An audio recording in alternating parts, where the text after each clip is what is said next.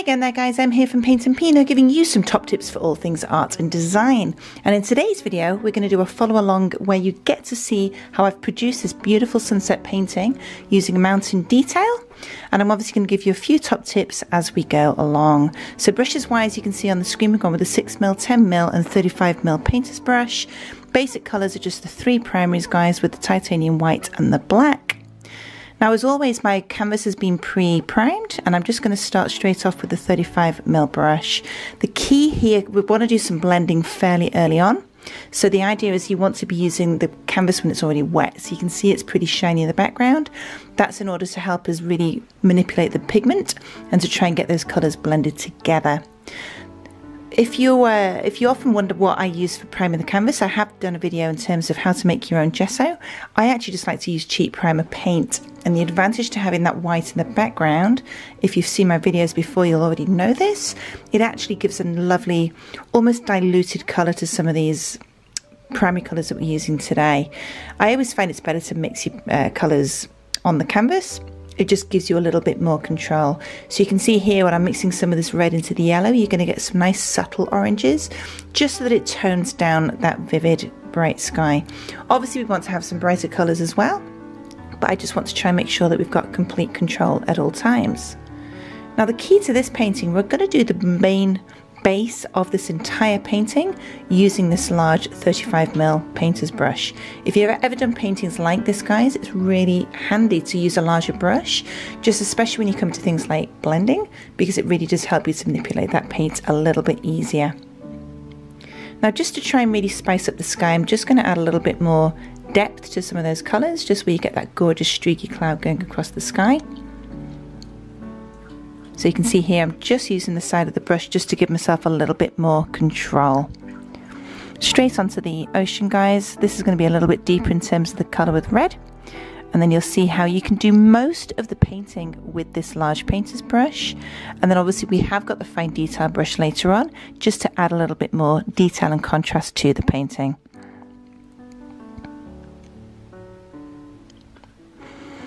So with this painting here, guys, the trick is it's all about layers. We're going to work the background layer first.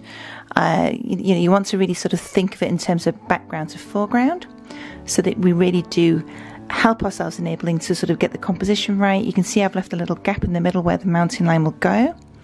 That's because I still want to work on some of the detail with the ocean. So now I'm just going to put some of those highlights and lowlights. For the ocean, it's fairly simple, guys, because obviously that's an unrealistic color at the moment, but we're going to put some of those gorgeous hints of blues, whites, and even some of the yellow sunset towards the end. So I'm just using the same larger brush to put some of those wave streaks through. And then of course we can always go over this later with the fine detail brush just to have a little bit more accuracy in terms of the lines we want to make. So I'm going to turn the music up here guys because the rest of this painting is fairly self-explanatory so that you can enjoy and hopefully follow along.